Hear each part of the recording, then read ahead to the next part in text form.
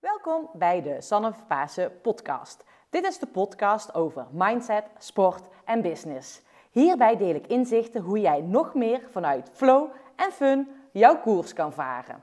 Veel luisterplezier.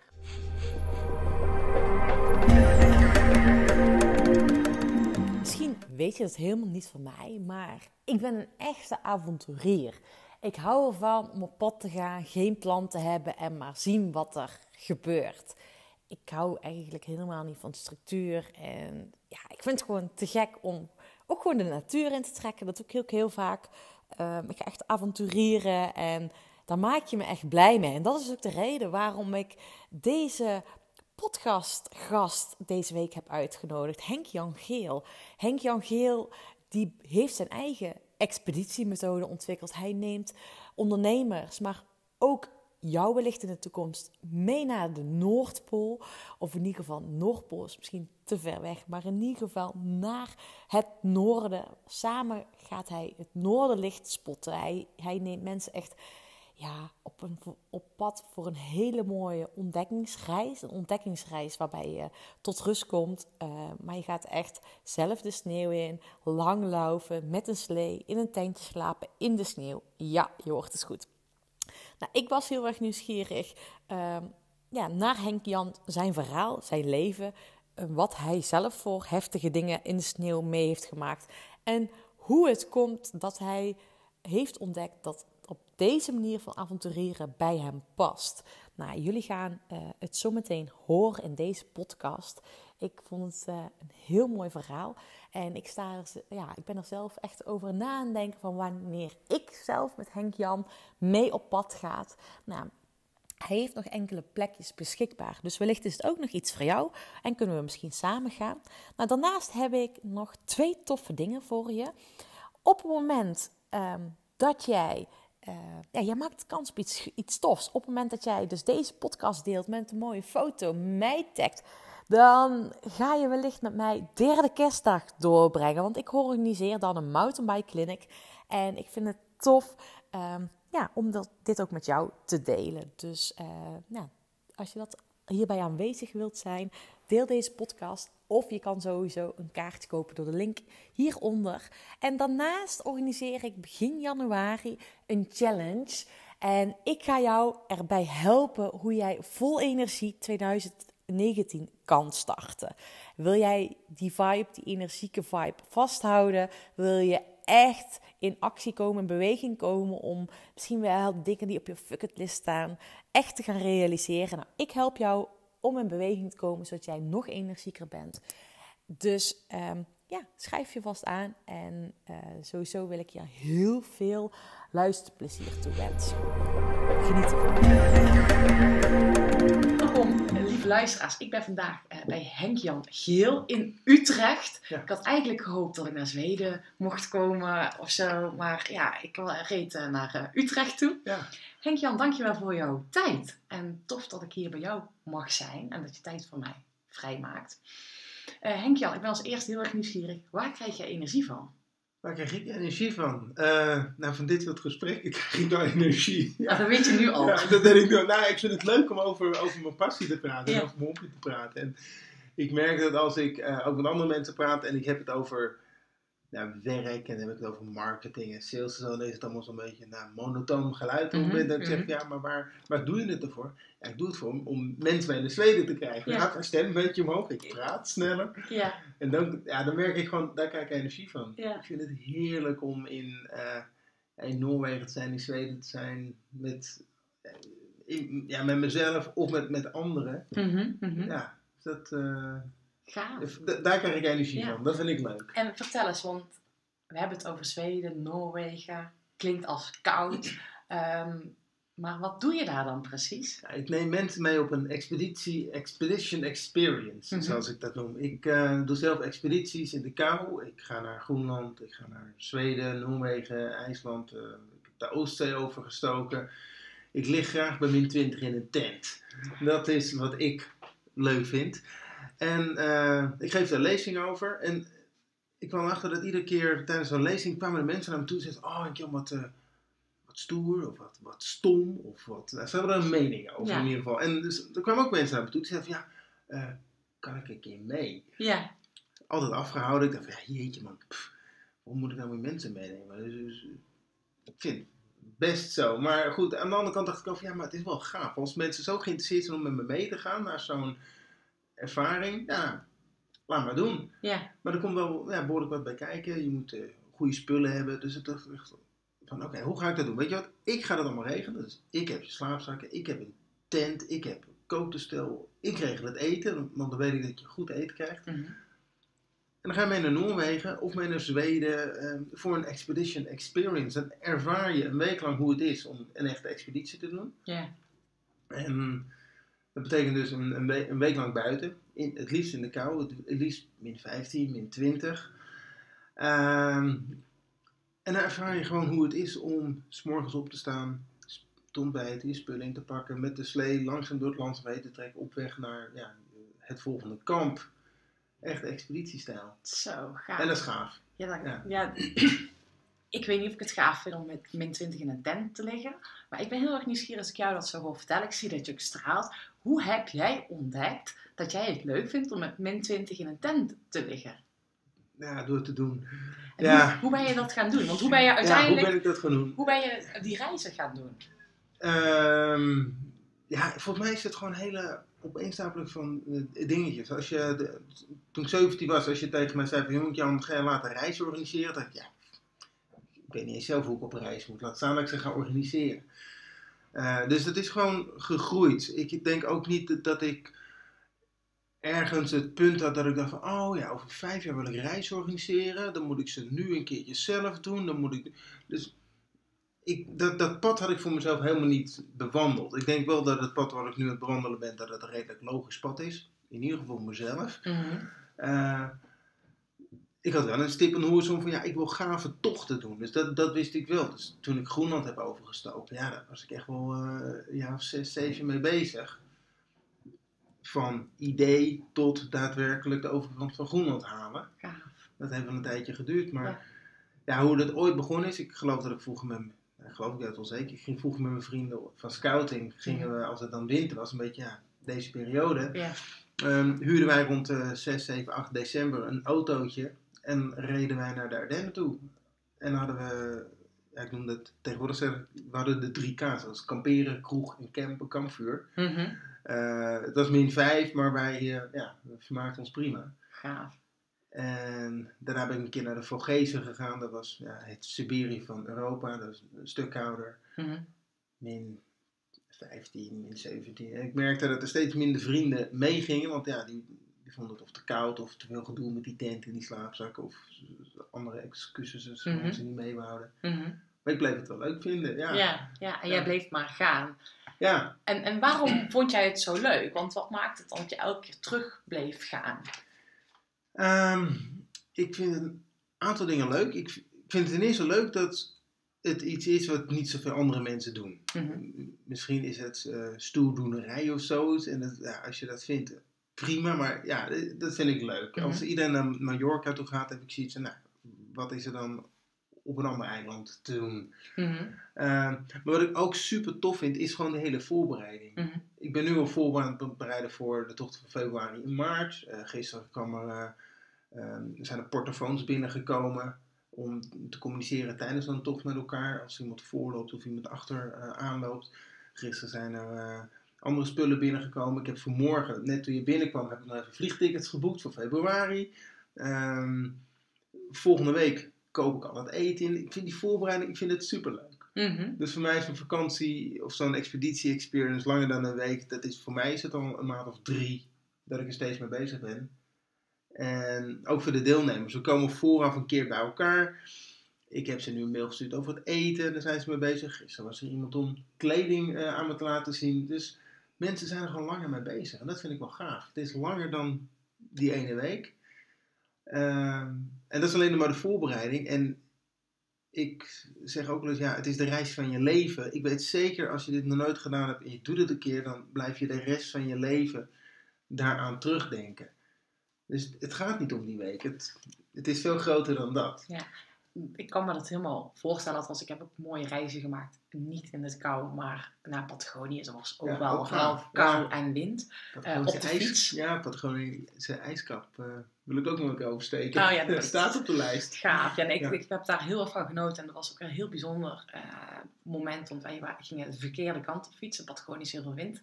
En wij zijn de verkeerde richting op Mhm. gefietst. Ja. En dat heeft mentaal heel veel met mij gedaan. En ook gewoon samen. Ik was samen met mijn vriend. Dus dat doet in de groep, ja, met ons Ja. twee doet dat ook wat. Eh, maar wat eh, maakt het voor jou, of welke lessen heb jij geleerd, dat jij zoiets had van, oké, dit wil ik andere mensen ook meegeven. Mhm. Want ik denk dat, dat jij een aantal inzichten hebt gekregen door op deze manier op pad te gaan. Ja. Wat ben jij bij jezelf tegengekomen? Ehm, ja, die inzichten die zijn ontstaan met terugwerkende kracht eigenlijk. Het, ehm, ik heb een aantal lessen geleerd tijdens die expedities. Van oké, hoe kan je een duidelijk doel bepalen? Mhm. Ehm, een andere les is, nou oké, als je dan een doel hebt, maar hoe, hoe maak je dan een plan om dat doel te bereiken? Mhm. Vervolgens heb je, de- heb je een plan, maar hoe zorg je ervoor dat je de- het juiste team hebt? Als ik naar mezelf kijk, ik ging naar de Van Gees en ik merkte dat er steeds minder en minder mensen met me meegingen van mijn Mhm. Ja, toenmalige vriendenclub, althans. Het zijn nog steeds vrienden. Alleen ze gaan niet mee de kou in.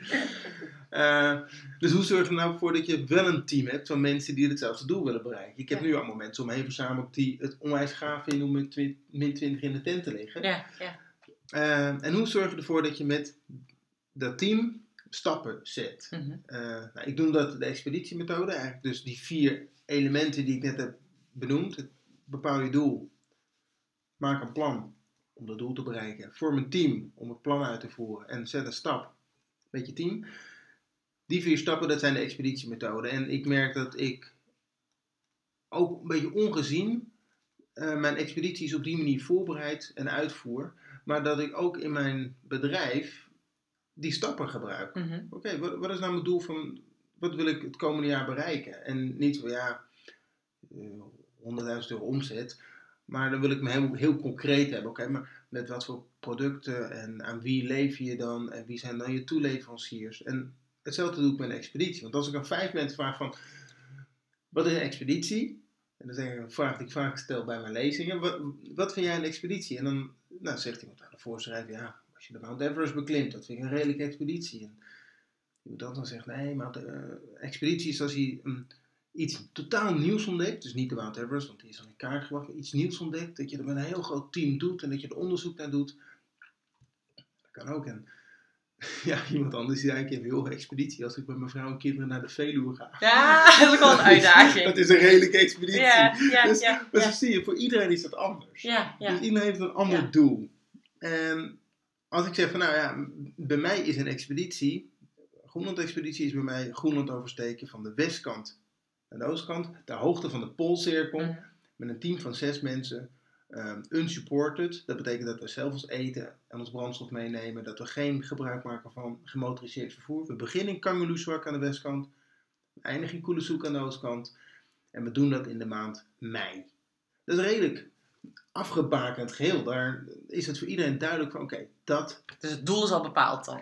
Ja, maar ook heel helder omschreven. Ja. Dat iedereen in het team ook weet van, oké, Gaan we, gaan op expeditie, Ja. maar in dit geval gaan wij dit Ja. doen. Maar dat doe je dus een maand over. Ja, Groenland oversteekt nu een maand over, ja. Maar op het moment dat ik met jou mee Groenland zou gaan oversteken, Ja. ehm, ik weet niet hoe dat bij jou zit, maar er gebeurt bij mij wel wat. Als ik, Wat gebeurt er dan? nou ja, 30 dagen eh, op pad met een team, eh, mensen die ik wel of niet ken, eh, in ieder geval leer kennen, Ja, Ehm, zonder social media, telefoon, zonder ehm, in de kou, eh, echt met de pure elementen. Ehm, ik denk dat ik uiteindelijk tot rust kom. En ik denk dat ik heel aan het genieten ben, maar ik denk dat ik ook mezelf wel gruwelijk tegenkom. Mhm. En ik denk dat er ook een moment gaat ontstaan dat ik ook gruwelijk irritant ben voor de groep. ja, waarom? Ik denk dat ik zo ben. ja, oké. Nee, maar ik ben dus heel nieuwsgierig. Wat gebeurt er eh, met Ja. jezelf op het moment dat je een maand in the middle of nowhere in, in, in de natuur aan het leven bent? Ja, ja. Wat gebeurt er dan bij jou? Ja, ik leef helemaal op. Je leeft helemaal op. Ja, ik vond het echt fantastisch toen ik een maand in Groenland zat. Dat, Maar dat heeft diverse dimensies. Ik, het was voor mij een heel groot doel. Ik werkte daar zes jaar naartoe. Ja. En eindelijk ben ik bezig met het uitvoeren van zo'n hele grote expeditie. Dus eindelijk ben ik bezig met het vervullen, ja, het vervullen van mijn droom of mijn, Ja. mijn grote doel. Ja, die voorbereiding was ook gaaf. We hebben voorbereidingstochten gedaan, we hebben materiaal uitgezocht, we hebben getraind. Allemaal leuk en aardig, maar uiteindelijk gaat het ook wel weer om het hoogtepunt. Ja, Ja. eh, het voorspel is leuk, maar het hoogtepunt moet ook komen. Dat was in mijn geval was het die oversteek van Groenland echt. Ja. Super tof. Dus ik was die maand ja, regelmatig. Had ik mijn MP3-speler in mijn, ja, mijn hoofdtelefoontje, oortjes in mijn, in mijn oren en aan het meezingen met Bruce Springsteen of welke muziek ik dan ook in mijn oren had. Ik vond het heerlijk. Er zijn ook momenten geweest, dan had ik echt onwijs grote blaren om mijn voeten. Ik vond het vreselijk. ja. Die momenten heb je ook. Zeker. Ik was Ja. iedere minuut zo aan het aftellen van, oh ja, over hoeveel minuten hebben we pauze? Over 45 minuten, oké. 40, 40 stappen nemen, nog 44 minuten. Oh ja, 44 keer 40 stappen. Hoeveel stappen is het dan? Oh ja, dat is zoveel stappen. Oké, dus als ik nu 100 stappen doe. Dus ik was echt iedere minuut aan het aftellen. En nou, had ik de rekensom gemaakt, dan was ik weer 5 minuten verder. Oh ja, nu nog 39 minuten. Nou, gelukkig geen 44 meer. Dus je was gewoon echt dat aan het aftellen. Vreselijk, sommige dagen. Ja. De meeste dagen waren tof, maar Ja. ik ga niet zeggen dat het roze kleur en maneschijn is. Dat het allemaal hartstikke leuk en fijn is. Want, ja, Nee, maar het hoort ook wel een beetje. het hoort, ja, maar dat is ook wel een expeditie. En dat is wat anders dan een expeditie experience. Want dat is een week, negen dagen. Dat, dat, dat is te overzien. Een echte expeditie van Groenland oversteken. Ja, die, vijf, die 30 dagen. Het kunnen er ook 25 worden. Het kunnen er ook 35 worden. Het is maar net. Ja, hoe- hoe gaat het? Ja. Sterker nog, je weet niet eens of je het haalt. Ja. voor hetzelfde geld heb je stormen, gaan de dingen slecht en dan, ja, dan, dan moet je teruggevlogen worden. Je hebt dus wel een escape. Je kan wel, je hebt wel contact met de buitenwereld, zodat je nog een... Ja. Ja, ja. Gelukkig wel. En Ja. ben ik even nieuwsgierig naar, want hey, ik hoor jou zeggen, soms gaat het goed, soms gaat het minder goed. Kom jij ook in een bepaalde van flow state, weet je, dat je, of weet je hoe je dat zelf weer op kan roepen, dat je eigenlijk echt aan uper aan het genieten bent dat het vanzelf gaat? Ehm, ja, ik weet niet of ik hem kan oproepen. Ik weet wel dat, ja, ik ervaar het. Op het moment dat ik, nou, concreet voorbeeld. Vorig jaar maart ben ik met zeven mannen, vrouwen, eigenlijk vier vrouwen en drie mannen. Vertel ik je zo Meer even. Ja, vrouwen. vertel- meer vrouwen. Vertel ik je zo meteen even. Leuk. geslacht, hè? Klopt, hè? Klopt. Zometeen. Parkeer hem even. ja. Nee, ehm, vorig jaar maart ben ik naar eh, Noorwegen gegaan met dus een, een- zeven, zeven deelnemers. En ik merk dat ik vaak eh, heel druk ben. Mhm. Slees klaarleggen, zorgen dat de skis er goed bij zijn, zorgen dat de deelnemers de juiste spullen hebben, dat ze niks vergeten zijn. En op het moment dat iedereen zijn slee aan heeft gekoppeld en we, we skiën eigenlijk het, het gebied in, dan merk ik dat ik ja, de, de rust in ski of zo. Ik merk dat de eerste 100 meter zit ik nog een beetje te zoeken, ook naar mijn eigen draai. En dan kijk joh, hoe gaat het met de deelnemers? Is iedereen, is iedereen er? Gaan ze allemaal dezelfde kant op? Ook wel fijn. Maar als dat het geval is en we, we skiën zo langzaam het gebied in, dan ja, binnen een half uur heb ik rust. En ja, dan ben ik gewoon volledig aan het, aan het genieten. Denk ik, ah heerlijk, ik ben aan het doen wat ik wil doen. Ja. En ja, dat betekent dat ik geen wifi heb, geen telefoonbereik, geen, geen WhatsApp, geen Facebook, geen Twitter. En dat is ook wel eens lekker. ja. Ja. En ik ben me ervan bewust dat die dingen er gewoon een, een week lang niet meer zijn. Mhm. En eh, ja, mijn vrouw is zich er ook van bewust dat ze een week lang gewoon niks van me hoort. En ja, soms heb ik even bereik en kan ik even bellen, maar vaak ja, helemaal niet. ja. Ik zet een goede oude Volvo's aan en dan ja, ben ik buiten aan het spelen. Ik ben buiten aan het spelen. Ja. Ja, met een lach Ja. op je gezicht. Ja. Ja. Dus dan ben je echt doen wat je leuk vindt. Ja, dat, en, dat, en dat is gaaf. En op het moment dat ik dan door het landschap heen ga, ja, ik ben vaak wel met mijn, ja, met mijn deelnemers bezig. Ik ben toch aan het kijken, joh, eh, genieten ze ervan? Hebben ze het warm? Dus nou, eigenlijk doe ik precies andersom. Chris, kijk, joh, heb, je, heb je het warm? Ja, dat is toch een beetje de veiligheid. Ja. Eh, zit je neus goed, je oren, je tenen en je vingers. En daarna van, ja, vind je het gaaf? Vind je, Ja. Ben je aan het genieten? Eh, zijn er dingen waardoor ik het je nog leuker kan maken? En eh, ja, vorig jaar, Tanja, een van de dames die deelnam, die was redelijk stil. En iedere keer als ik aan de vroeg viel, uh, Tanja, hoe gaat het met je? Zei oh, het is best wel koud. Maar dit is gaaf. ja. En ik dacht van, oh man, dat is, dat is gaaf. En een dag later ski weer naast. Hoe gaat het? Ja, het is super zwaar. En dan is ze aan het shocken door de sneeuw. En ik denk, oh, nou komt het hoor. Maar dit is gaaf. Ah! Dus iedere keer was het die twee emoties in diezelfde zin. Ik dacht van, ah, cool. ja. ja. ja. Dus ik, uh, ik sprak er een paar maanden geleden, uh, gewoon na de tocht sprak ik. Tanja, hoe gaat het met? Ja, echt super gaaf. Wanneer ga je weer? Ja, ik ga in februari ga ik met honden ga ik, uh, naar Noord-Zweden mee. Ik ga weer met je mee. Dus die gaat, die gaat in februari niet mee. Oh, ja, dat is, dat cool. is toch heerlijk? Ja, ja. ja, ja. En wat brengt het haar dan? Hè? Het, ze geniet ervan, maar wat Ja. brengt het haar dan nog meer?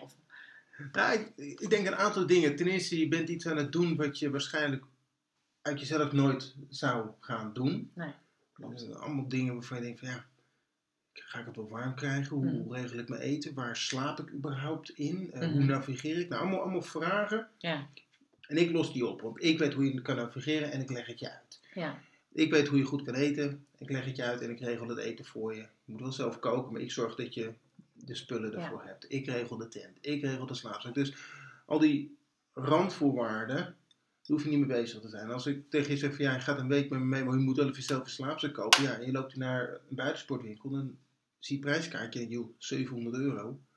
Ja, toch ook alleen maar duurder. Maar goed, ik heb die spullen gewoon hier in de voorraad liggen. Dus ik, ik regel dat allemaal voor die, jij maakt het heel Mensen. makkelijk voor de mensen. ik maak het heel laagdrempelig. Dus dat is al een eh, reden waarom veel mensen zeggen, nou, dat is een makkelijke instap Ja. om mee te gaan. En wat brengt het Tanja? Nou ja, om met mij mee te gaan, kan ze iets doen wat ze anders nooit gedaan heeft. Nee. Wat misschien ja, buiten je comfortzone Mhm. ligt, maar wat je wel op een hele veilige manier kan ervaren. Ja. En het brengt heel veel rust. Ik sprak laatst een andere gids. Ik zei van, joh, wat gebeurt er toch met die deelnemers? Want, nou, een voorbeeld. eh, vorig jaar kwam iemand, een, wat, ging ondernemen met me mee. eh 50 man personeel, altijd druk. eh, weet ik veel, 50 miljoen omzet. IT, eh detacheerder. En die kwam de derde dag naast me skiën en die zei van, joh Jan, zo gek. Maar in Nederland had ik allemaal ideeën, problemen, business cases, allemaal, eh, allemaal opties die ik moest afwegen. En ik weet niet wat het is, maar ik ga zo meteen als ik in de tent zit, pak even pen en papier, moet ik even aantekeningen maken. Want ik weet nu, als ik in Nederland ben, wat ik ga doen, hoe ik het ga doen, met wie ik het ga doen, waarom ik het ga doen, wanneer we het gaan doen. Hij had het hele plaatje, had hij volledig uitgewerkt in zijn hoofd. Cool. En eh, ik, sprak, ik besprak dit met een andere gids. En die zei tegen mij: van, "Joh, Jan, weet je wat wij doen? Wij zetten mensen tot stilstand. Ja, ja. Niet eens meer tot rust, maar gewoon tot stilstand. Want in Nederland ben je alleen maar aan het rennen, aan het vliegen, aan het draven.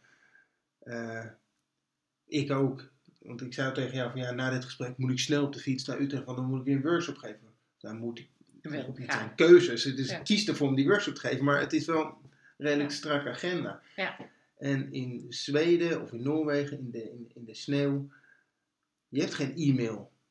Ja, je kan het wel checken, maar er komt toch niks binnen. Dus na vier keer checken denk je ook van, nou, laat maar zitten. Ja. En die WhatsAppjes komen ook niet meer binnen. En je Facebook en je Twitter en je telefoontjes. En, ehm, en je kan ook niks doen. Je kan ook niet zeggen, oh ja, ik heb een idee, ik moet het even met iemand Ja. bespreken.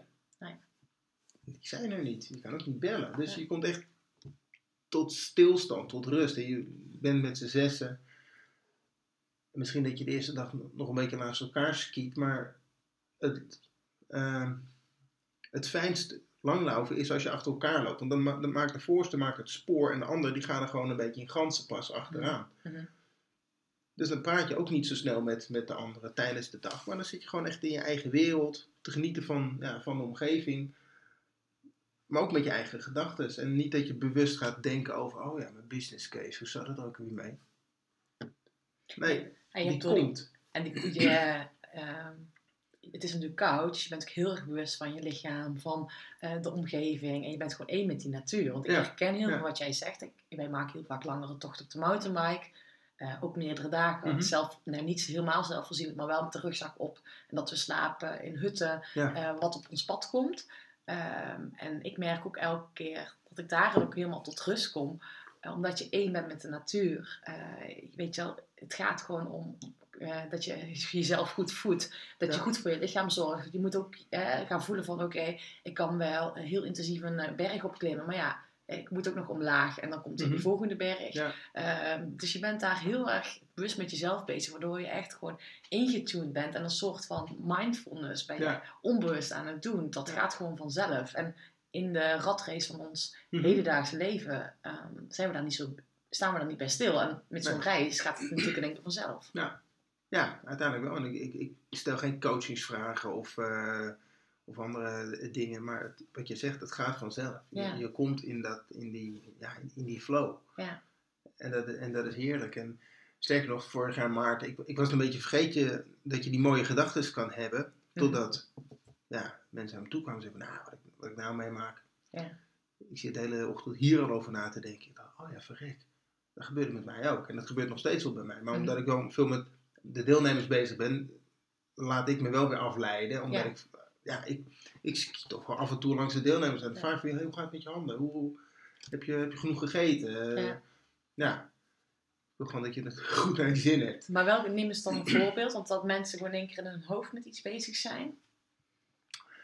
Eh, ja, nou goed, dat voorbeeld van toen net, van, van eh, die ondernemer die in Nederland heel veel opties had. Mhm. Er in Nederland geen rust voor had om dat, om dat op, op een rijtje te zetten. Ja. En, en nu gewoon rustig wel op een rijtje Ja, kreeg. in één keer. Ja.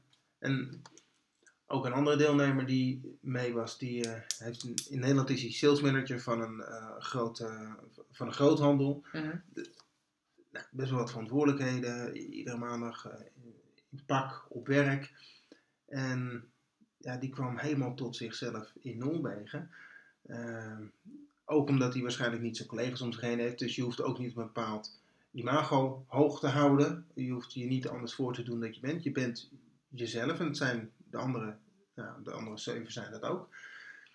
En we spraken elkaar tijdens, de tijdens de reunie, tijdens de barbecue. En toen zei hij tegen mij van, "Joh, Jan, een manager die kwam een paar weken geleden naar me toe. Die zei, Marco, zo heet hij, Marco, je, je bent, je bent anders. Je bent, ik weet niet wat het is, maar je, je bent anders sinds je terug bent uit Noorwegen. Ten positieve, maar er is iets wat, wat veranderd is. En misschien is het een, eh, ja, een relaxedheid waarin die is gekomen of iets anders. Ik kan het ook niet duiden, maar ik vind het wel gaaf dat mensen ja, eh, ten positieve veranderen. Dat is heel erg mooi. Ja. En daar ben ik heel erg nieuwsgierig want de mensen komen echt met energie thuis en ook met een bepaalde rust. Ehm, maar heb je ook momenten meegemaakt hè, in de kou, want je, je verbruikt heel veel energie, Mhm. dat mensen er even doorheen zaten of eh, en misschien heb je wel extreme situaties meegemaakt? Eh, ja, ja. Nou, ja. Eén keer was er een, eh, een whiteout. Met klanten in, gingen we een gletsjer op en, en er Mhm. was een whiteout. En een whiteout is eigenlijk dat je alleen maar wit ziet, overal. Er is, het waaide heel hard, Mhm. dus de sneeuw, de stuifsneeuw van de grond, die, die, die kwam eigenlijk horizontaal in ons gezicht, van schuin van voren. Het was mistig. Eh, dus ik zag ook niet waar de zon vandaan komt. Je ziet ook geen schaduwen. eh, je ziet geen... Je ziet de sneeuw op de grond zie je ook niet, want je ziet geen verschil tussen de sneeuw op de grond, de stuifsneeuw die aan het waaien is en, en, en, en de mist. Dus het is alsof je in een, eh, ja, in, in een pak melk loopt. Mhm. Daar eh, vergelijk ik het vaak mee. Je hebt Ja. gewoon geen oriëntatie eh, Nee. meer. Dus, een een goede vriend van me, Jeffrey, die liep voorop met een GPS, dus die hield echt wel de koers in de gaten. Ehm, en iedereen, ja, die, die loopt er een beetje ehm, ja, achteraan. Op een gegeven moment was er één dame, die, ja, die ging eigenlijk door de knieën heen. Echt, die, die ging echt bij neerzitten. En nou, ik skiede snel naar naartoe. Ik, stond 20 meter afstand. Vroeg, joh, wat is er gebeurd? Ze zei, ja, ik, ik kan echt niet meer. Ik, ik kan het gewoon niet meer. Ik- en het was ook wel zwaar. Het was koud, wind in je gezicht. En ehm, toen zei ik van, oké, maar dat, dat, dat moet je dan, dat moet je aangeven. Want ik zie dat niet altijd. Ik Nee. zie wel als mensen be- beginnen te zwalken, ja, dan, dan is het heel duidelijk. Maar vaak hou je je best wel sterk. Ja. ehm, totdat het niet meer gaat. En ja, totdat je door je knieën heen gaat, ja, dan ben ik echt binnen een seconde sta ik naast je. Ehm, en toen zei ik tegen haar van, nou weet je wat, als je nou je slee even afkoppelt en dan geef je je slee aan iemand anders die gewoon veel sterker is. En dan halen we van die slee wel even de slaapzak en die geven we weer aan iemand anders. We verdelen gewoon even je bagage. Dus ja, nou, oké dan maar, dat, is goed. Hebben we gedaan. Daarna liep ze de rest van de dag echt zonder problemen. Liep ze verder. En we hebben het er later over gehad. Ze zei van ja, dat is wel een leerpunt voor me. Ook de, de tweede helft van die, ja, van die tocht ging veel beter. Veel relaxter. De twee deelnemers die extra gewicht op hadden genomen, die hadden echt zoiets, nou, ik merkte het amper. Ik vond het ja, eigenlijk best relaxed, want we hadden toch energie over. Wij, wij gingen wel. En toen, toen zei ze later tegen me van ja, dat is echt wel een valkuil, wat ik in Nederland ook heb. Want in Nederland neem ik ook heel veel hooi op mijn vork. Totdat ik gewoon een burn-out heb of totdat het niet meer gaat. En dat doe ik dus nu weer. En nu is het, ja, heb ik ervaren dat ik wel een onderdeel kan zijn van die groep. Ja. Want op het moment dat zij vrij spel had zonder die slee, kon zij wel langs deelnemers en gewoon, gewoon ja. een babbeltje houden. Gewoon mensen die het ook wel zwaar hadden, eventjes ja, een, gesprek mee aangaan. Dan had ze opeens een hele andere functie in, in de groep. Dus uh, ja, dat was wel mooi. Ook een leerpunt voor, voor haar om te kijken van oké, hoe kan ik dat nou in Nederland ook doen? Als ik dan alleen maar ja, ja, ja tegen opdrachtgevers zeg, misschien moet ik een keer ja, nee, nee zeggen. Ja. Meer voor haarzelf kiezen en haar grenzen aangeven. En op het moment dat je hulp inschakelt, dat nog steeds goed kan komen. Want dat het dan nog steeds kan. Dat is wel heel gaaf wat je zegt. Hè. Um, dat zie ik zelf ook met de mensen die ik begeleid op de fiets. Zie ik heel veel terug, dingen terugkomen tijdens sporten. Mhm. Ook de valkuilen die ze in het dagelijks leven maken. En dat hoor ik jou nu ook zeggen. Dat je dan eh, tijdens een reis jezelf ook echt letterlijk tegenkomt. Um, bereid je daar mensen ook, ook, op een bepaalde manier op voor? Dat ze zichzelf tegen kunnen gaan komen? Of laat je gewoon alles gebeuren? Ja, ik laat heel veel dingen laat ik gebeuren. Ehm, ook omdat ik merk dat ja, ik kan het heel veel vertellen tegen mensen. Mm maar de meesten zit, zitten toch te denken van ja, maar wacht even, het is gewoon koud. Ik moet me voorbereiden op die kou. Ja. Dus die komen met uh, goede handschoenen, goede kleding. Uh, vooraf hebben we het ook met name over, over de kou. Terwijl de kou, ja natuurlijk het is koud, maar heel veel zit dus tussen je oren. Ja, kou is een emotie. Eh, ja, dat, dat ook. Nou ja, als je onder de koude douche gaat staan, dan is het best wel koud, dat vind ik ook. is emotie. Maar Um, je kan je heel erg voorbereiden op die kou en dat is prima tot een bepaalde hoogte. Maar uh, waar je je moeilijk op voor kan bereiden is, is de rust die je daar uh, tegenkomt. Of de gedachten die komen omdat je gewoon niks anders aan je, aan je hoofd hebt. Je hebt alleen maar een witte omgeving en als je geluk hebt een blauwe lucht. Dus je ziet de hele dag alleen maar twee kleuren. Terwijl in Nederland, nou ja, ik hoef in mijn huiskamer te kijken en ik, Zo gek ja. van, de, van de kleuren die er voorbij komen. Ja. Uh, dus op een of andere manier kom je gewoon helemaal tot stilstand. En dat is wel onwijs lekker. Ja. En Henk, dan ben ik even nieuwsgierig naar. Want we hebben het nu over de reis gehad die jij hebt begeleid. Maar heb jij ook zelf een keer een moment meegemaakt van... Oeh, dat echt zo enorm heftig was dat je jezelf echt letterlijk tegen bent gekomen? Uh, ja, ik denk het wel. ja. het was nou ja, jaren geleden in, uh, uh, in Noorwegen, Zuid-Noorwegen ik ging eerst, naar wat ik vertelde, met mijn vrienden naar de Ardennen, naar de Vogezen. En iedere keer ging er iemand minder mee. En ik had wel zoiets, ja verdorie, ik wil gewoon grote tochten doen. Ehm, op een gegeven moment had ik zoiets nou, weet je wat, bekijk het er maar. Dan, dan, boek ik gewoon mijn eigen ticket. En dan ga ik het gewoon lekker zelf regelen. En dan uh, gaan jullie niet mee, prima. Ik, ik ga door. Dus ik uh, had de ticket geboekt naar Oslo. Ik nam de, de bus naar Zuid uh, Noorwegen naar de Hardanger Vida, groot natuurgebied daar. En ik wou dat gebied wou ik doorsteken. Nou, dan ga ik in het zuiden beginnen, ga ik naar het noorden, dat is 110 kilometer. Nou, dat je doorlopen, acht dagen tijd, moet het moeten doen zijn. Een sleetje gekocht. Uh, Ter plekke? Nee, dat had ik in Nederland gedaan. Een sleetje gekocht bij de Bart Smit. Ik denk van mooi, dan kunnen daar allemaal spullen op. En met touwtjes kan ik die slee dan vastmaken aan mijn, aan, mijn, aan mijn rugzak. Dus nou, een beetje in elkaar lopen knutselen. Maar in Noorwegen kwam ik achter dat die slee van de Bart Smit een hele kleine slee. Waardoor ik heel hoog moest omsta opstapelen. Bart gewoon van de Gewoon hier verderop in de Bart uit het winkelcentrum. Ja, we gaan een hele simpele slee. Dus dit was echt je eerste echte Echt mijn eerste expeditie. Ik denk, mooi. Dat, wat Met de slee van de Bart. Die professionals kunnen met hele dure spullen, kan ik ook alleen nog veel goedkoper. Tuurlijk. Ja. Henk Jan doet het dan even. Ja. Nou, niet dus. Eh, het nadeel van zo'n hele korte slee is dat ik heel hoog moest opstapelen. Ja. En als je iets hoog opstapelt, dan heb je een hoog zwaartepunt waardoor zijn slee iedere keer omviel. Dus onder 100 meter lag mijn slee op zijn kant. En dat, een, slee dwars door de snelheid trekken, dat is echt ondoenlijk. Dus dat ging al niet zo lekker. Ehm, ik heb nu hele andere sleetjes, die zijn veel langer, waardoor je laag kan inpakken. En de, die slee die is veel stabieler. Maar goed, ik met mijn Bart slee. Ehm, ook met touwtjes. En tegenwoordig heb ik stokken aan mijn slee, waardoor je ze beter kan controleren. Toen had ik touwtjes. Nou, dat, dat is zo flexibel als het zijn kan. Dus het, het viel naar alle kanten viel het op. Dus ik had er na één dag, had ik verdorie, wat irritant. Mijn planning was 10 kilometer per dag. Eind van de dag had ik 10, ki- of nee, 15 kilometer per dag. Eind van de dag had ik 10 kilometer gedaan. Ook met het omvallen van die slee. Dus het ging gewoon niet zoals ik het in gedachten had. Ehm, en op de derde dag kwam ook een whiteout. Eh, dus weer het lopen in zo'n melkbak met een slee die omvalt. En eh, nou, uiteindelijk zag ik ook geen kuiltjes meer in, in, in, de, in, de, in de grond. Dus af en toe viel ik zelf ook om, want het stapte in een, in een kuil. Ik vloer me even ik viel weer om. Nou, allemaal sneeuw in mijn nek. Nou, dat is super koud, kan ik je vertellen. Eh, dus ik baalde wel. Ik zet mijn tent op. Ik denk, nou, weet je wat, ik ga wel even afwachten tot morgen zal het wel beter weer zijn. En dan, ehm, ja, dan ga ik die sleem anders inpakken of zoiets. Of ik eet al mijn eten op. Of nou, weet ik wel, ik ga dat anders doen. Ehm, maar ik zet nu mijn tent op. En de volgende dag doe ik mijn, mijn tent open. Ik, rits hem open. En vanuit mijn slaapzak kijk ik naar, naar buiten. Van, joh, eh, hoe ziet het eruit? Nou, ik zie zo'n meanderend spoor van mezelf. Met af en toe een plof waar ik gevallen was. ik zie zo'n meanderend spoor naar mijn tent lopen. En ik zie een blauwe lucht. Ja, top. Dus ik eet snel mijn ontbijt. Ik stap mijn tent uit. En ik kijk dan waar ik heen moet gaan lopen. Waar, ik, waar de rest van de route heen gaat. En dan zie ik op zo'n nou, acht meter afstand gewoon een gapende afgrond. Ja, dat dus. Echt gewoon diep. Op hoeveel, hoeveel afstand? 8 meter of zo. Acht negen. meter? Ah, daar sliep je langs. Ja. Ja.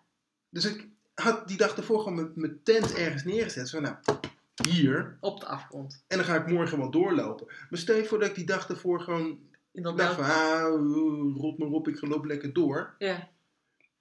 Dan was ik die afgrond in, in, in geskiet. Nou, ja, Oh ja, geskiet natuurlijk. Ja. We dit gesprek niet gehad misschien. Nee. Of misschien in een rolstoel. Ja. Of ja, weet ik veel. Ja. Maar, en toen dacht ik bij mezelf, ah fuck Henk Jan, dit is weer typisch zoiets. Echt, nou ja, een valkuil waar ik heel vaak in trap is...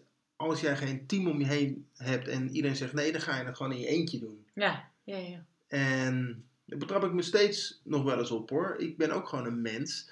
eh, dat ik heel veel dingen alleen doe. Maar het gaat makkelijker met een team. Ja. Eh, niet dat we de afgrond hadden kunnen voorkomen, maar heel veel andere dingen wel.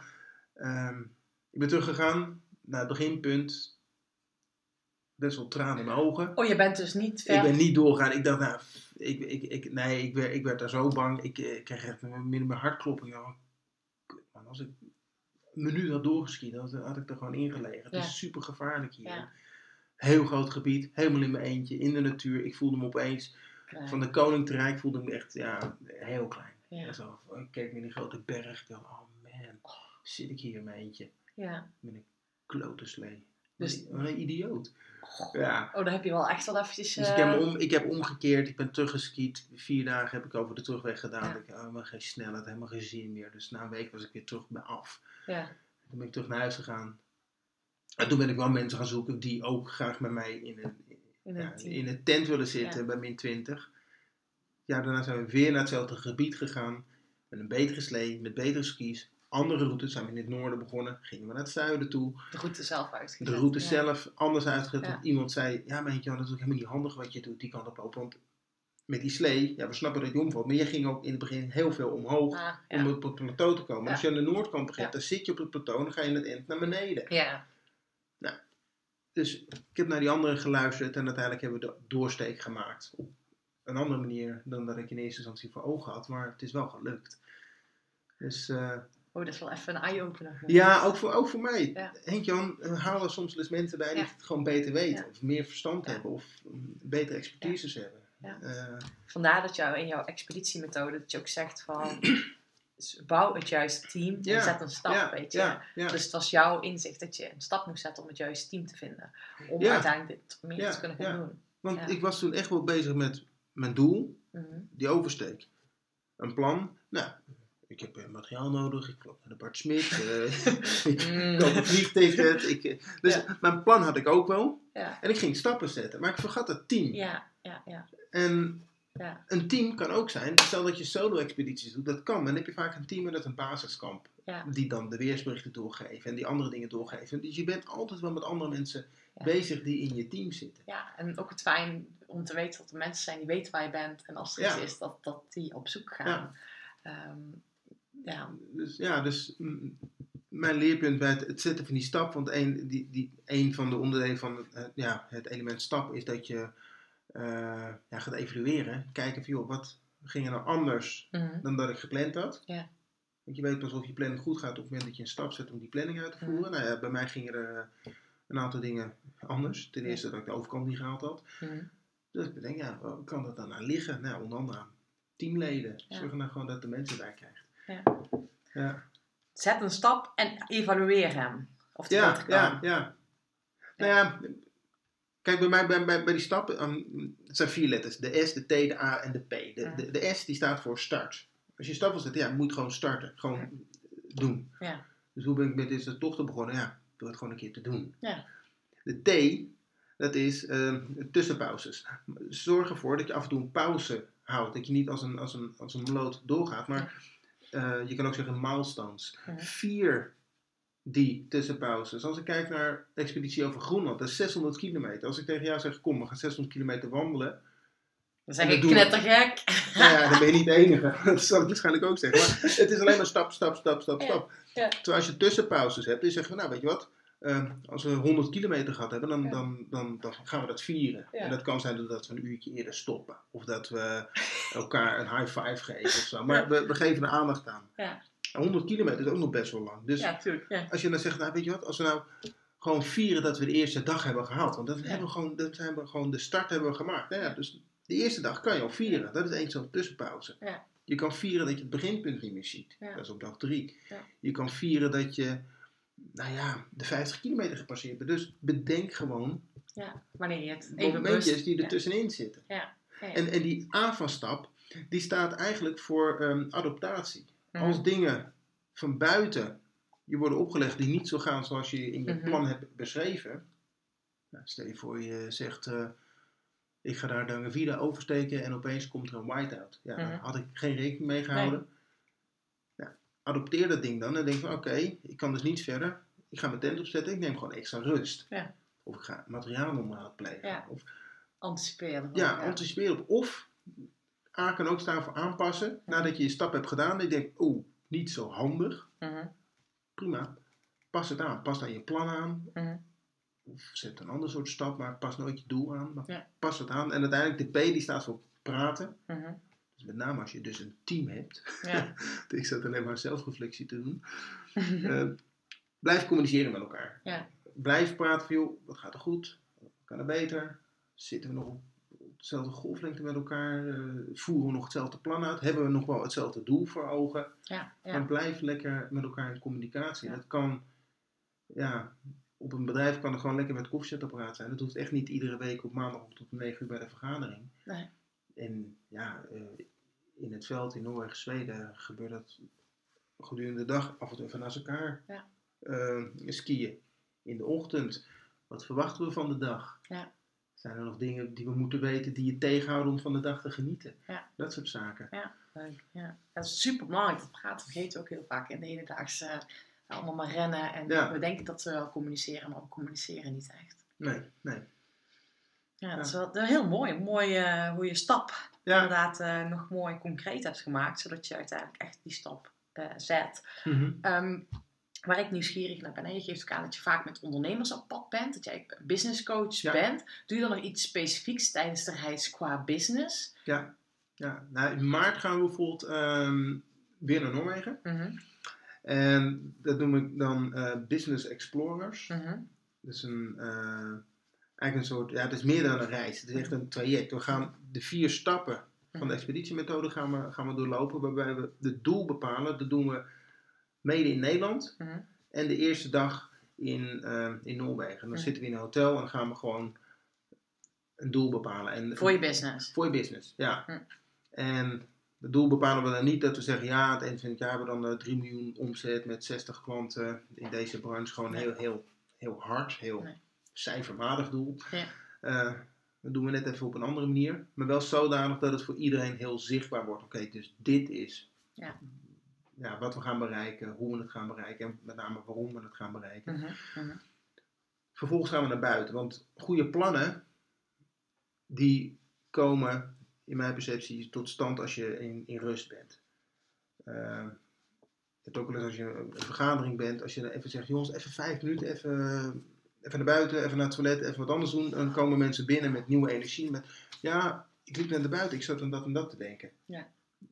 Je bedenkt vaak dingen op het moment dat je ja, hier van die tafel wegloopt. Zometeen ook, je- waarschijnlijk zit je zo meteen in de auto en denk je, oh ja, ik had dat nog willen vragen. Uiteraard, zo werkt het. Ja, Ja. maar goed, dat zijn de momenten dat het gebeurt. Dus je Ja. moet bewegen. Ja. Dus voor dat plan maken gaan we ook naar buiten. Ja. En dan gaan we ook de sneeuw in. En dan gaan we ook ehm, expeditie ehm, doen. Dan gaan we met uh, achter ons aan. gaan we gewoon een tocht maken van een paar dagen. Mhm.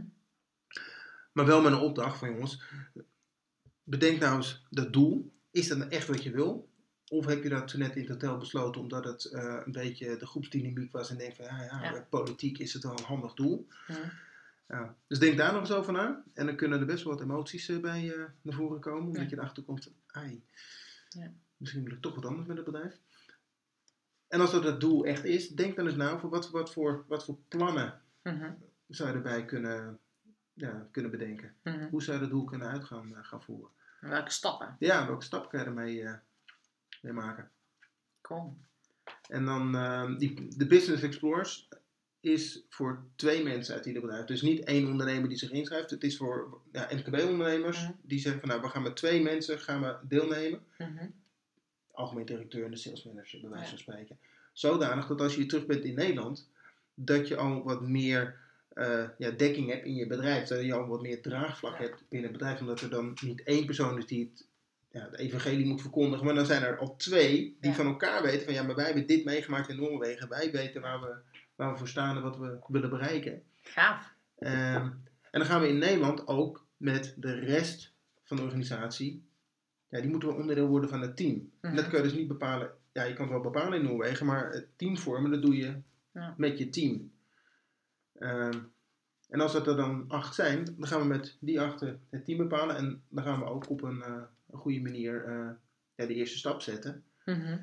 Ehm, en soms is dat eh, confronterend en out of your comfort zone. Dan heeft Ja. dat niks met je onderneming te maken. Maar dan wordt er wel een, ja, een out of your comfort zone fysieke stap gezet. In. Nederland. En In wat, Nederland, kan ja. ik dan aan denken? Ja, eh parachutespringen, bungee jumpen, abzeilen. Met heel het eh, team. met het hele team. Oh, yes. Ja, met het Ja, hele team. ja. Gewoon om eens een Ja. keer over zo'n Ja. drempel heen te gaan Ja. voor dingen die je spannend vindt. Ja. Waarvan je denkt van, oh man, hoe, hoe gaan we dit doen? Maar als je het met z'n allen doet, Ja, dat dan is zou je super merken dat het nog steeds spannend is. Ja. Maar dat je, als twee mensen hetzelfde spannend vinden, is het vaak net wat minder spannend. Ja, want dan heb je een beetje, oh ja, als die ander dat gaat doen, ga ik het ook doen. Ja, Dus, oké, ja, ja. komt. Kom, doen we het samen. Is Ja. goed, hou elkaars hand vast en dan gaan we. Maar je gaat wel. Ja, je komt echt in beweging Ja, daardoor. Daar geloof ja, ik ook ja, echt in. ja. Het is een mooie, eh, een mooie methodiek die je gebruikt. En ik denk ook dat je hierdoor echt ondernemers, maar ook bedrijven in beweging laat komen. Ja. Ehm, gaaf, want ik zie ook dat ik dat heel veel par- parallellen zie. ik. En ik zie ook meteen bruggetjes. Maar ik, ik weet dat je zo meteen eh, eh, nog naar een andere afspraak eh, gaat. Ehm, dus ik heb eigenlijk even een paar laatste vragen nog. En de eerste vraag is eigenlijk nog gewoon, heel erg, ben ik heel erg nieuwsgierig naar. je wil natuurlijk weten waarom die dames meegaan. Oh, dat, zo, dat heb ik niet eens gevraagd. Ja, laten we daar eens mee beginnen. Want waarom eh, zoveel eh, dames? Ja, ik, ik had ook gedacht ze willen met mij mee, maar ik denk niet dat het zo... Valt dat tegen? Ja, valt tegen. Nee, het zal zover zal niet zijn. Nee, ik, ik merk dat als ik een oproep plaats over joh, wie gaat er mee met de Expedition Experience, dat vaak de mannen daar commentaar onder zetten van ja, gaaf, stoer, bucketlist. En die hebben graag het hoogste woord. Een beetje de, ja, de alfa mannetjes op de apenrots. Ja. En Maar ze doen het niet. die doen het niet. Terwijl die vrouwen, die kijken ernaar. En die denken, oh, hmm. En dan bellen ze me op. Ja. En zeggen, ja, ik ga mee.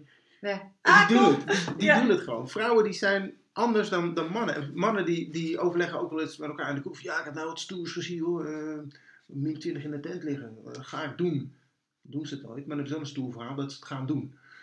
Dus mannen zijn meer van de stoere verhalen. En vrouwen die zijn meer woord bij daad. Ja, ja. Met dit soort, met dit soort dingen wel. En uh, uiteindelijk als je in de Noorwegen of Zweden zit, je geniet allebei ja, evenveel. Ik merk wel dat mannen vaak wat meer van de fysieke inspanning uh, genieten. En vrouwen meer van, uh, ja, van de mentale rust of zo. Mm -hmm. Maar dat, dat, verbaast me. Ook toch nu naar, naar Zweden. Ik heb nu, even kijken, ja, vijf vrouwen en één man. Please. Oh, dan heeft die man ja. Ja, Jij ook. ja. Ja, uh, in zijn nopjes. Ja, ja. ja. Oh, dat is wel echt bijzonder. Dat had ik niet verwacht. Ja. Oh, dat nee, wel, ik ook niet. En nee. dat is voor mij ook wel uh, ja. bijzonder. Ja. Want moeten mensen ook echt fysiek goed voorbereid zijn? Moet je kunnen nee, langlopen? Nee, je hoeft niet te kunnen langlopen. Je moet een goede basisconditie okay, hebben. Ik zeg ook niet, je hoeft geen marathon te kunnen lopen. Je hoeft ook geen sprintje te kunnen trekken. Maar ik zeg wel van ja, als je vijf kilometer achter elkaar kan hardlopen, mm -hmm. gewoon continu. En het hoeft niet eens in een bepaalde tijd, maar gewoon ja. joggend. Dat is prima. Of als je zegt van ja, hardlopen is echt helemaal niks. Ik wil uh, wandelen. Nou prima, ga 10 kilometer lopen. Met een rugzak van 10 kilo. Ja. En als je dat zes dagen achter elkaar kan. Ja. En op dag 6 denk nou ja, doe het morgen nog Ja. een keer. Okay, Dat is prima. Ja, gaaf. En welke? Je hebt uh, ondertussen al heel veel avonturen beleefd. De maand Groenland doortrekken, waar je echt als een heel mooi plan hebt gedaan. Mhm. Ja. Maar welke dromen staan er nu nog op jouw lijstje? Wat wil je doen? ja, het lijkt me heel, heel gaaf om een keer op de Zuidpool te zijn. Ja, ja. Dus ik wil heel graag op de Amundsen Scott basis in die grote magne magnesiumbol die daar staat. Dat is het symbolische, ja, cer- ceremonial South Pole. Uh, ja, lijkt me super tof om daar een keer gewoon een foto van dat ding te nemen. Ja, Cool. En hoe lang duurt die expeditie dan? ja een beetje afhankelijk welke route je neemt, maar uh, normaal gesproken duurt die een dag of 40. 40. Ja. Heen en terug. Ja, ja. En heb je al een, je hebt een doel, heb je al een plan? Ja. Een team? Uh, ja, ja, ja, ook. Ja. En wanneer gaat het dan gebeuren? Ja, dat is een goede vraag. Um, in het plan staat onder andere de financiën. dat Ah. is vaak met Zuidpoolexpedities is dat hetgene waar het uh, vaak op misgaat. Uh, dat zijn geen goedkope dingen. Nee. Kijk, Wat moet ik dan denken? Uh, denk aan zo'n, ja, een beetje afhankelijk van de route tussen de 50 en de 75.000 euro per persoon. En we gaan met z'n drieën. Dus dat is 7 dat is 2 ton, 2,5 ton wat je daarvoor nodig hebt. Ja, dat koop ik een leuke woning voor. Ja. Zo, ja, niet in Utrecht, maar wel. Uh, nou ja. Nou ja. Maar het is wel, uh, dat is wel een flink bedrag. Ja, ja. Dat, is een, dat is een flink bedrag. Dus ja. Uh, ja. Nou, moet er even of voor sparen, of goede sponsors voor Ja. vinden, of een andere Ja. truc bedenken waardoor het wel Ja. mogelijk wordt. Maar die eh, komt vast heel ja. erg goed. dat lijkt me nog steeds tof. En dan heb ik nog een paar zinnen. Ja? Of je die af wilt maken. Dus ik start een zin. En Oké. of je dan het einde af wil maken. Ehm, mijn grootste droom is. Om naar de Zuidpool te gaan. Dat is echt je grootste Ja. Ik geloof in. Ik geloof in het feit dat je als je ja, iets wil bereiken, dat je het echt wel kan bereiken. Die is heel mooi. Als je gewoon in jezelf gelooft dat je het gewoon daar komt. Ja, ja. Mooi. Ik wens de wereld. ik wens de wereld. Weet je wat nog vragen? Ja, veel geluk, liefde, eh, vrijheid, avontuur. Ja, Mooi. Ja. Dat is heel mooi. Tof, dankjewel. alsjeblieft. Henk-Jan, ehm, jij eh, hebt binnenkort nog een eh, expeditie in februari. Heb Ja. je nog plekjes? Ja, ehm, voor februari heb ik nog één plek. Ja, Voor een man of een vrouw. Maar de mannen die luisteren, ja gaan vijf vrouwen het liefst, mee. Het liefst, het liefst een man. Ik vind de vrouw heel leuk, maar het liefst, het liefst man. Voor de afwisseling. En waar kunnen ze meer informatie vinden? Op de website henkjangeel.nl. Henkjangeel.nl Nou, Anneke vast, zonder streepjes, henkjangeel.nl. nou, Ja. heel mooi. Dankjewel voor het gesprek. Zijn er nog andere dingetjes die nog leuk zijn om te delen? Wat je belangrijk vindt? Nee, nee, op dit moment niet. Nee, ga gewoon mee. En eh, ja, als je een droom hebt, eh, maak een plan en ga ervoor. Ja. Ja. Best mooi. Als je een droom hebt, maak een plan en ga ervoor. Ja. Dankjewel, Henk-Jan. Graag gedaan. Thanks. Dankjewel voor het luisteren. Dit was weer echt een tof interview. Ik heb er weer heel veel waardevolle inzichten uitgehaald. Mocht jij nog iets voor mij willen doen, want ik zou het leuk vinden als nog meer mensen naar mijn podcast gaan luisteren, zou ik het tof vinden als je voor mij een eh, reviews schrijft. En, uh, of deelt op social media. Tag me gerust. En uh, ik vind het enorm leuk om jullie reacties te lezen. Dus dank je wel hiervoor. En uh, nou, mocht je een specifieke vraag of nieuwsgierig zijn naar een bepaalde gast. Stuur me gerust een berichtje via social media. Nou, jullie kunnen mij vinden op Sanne van Pasen. Fijne dag en tot de volgende keer. Doei doei!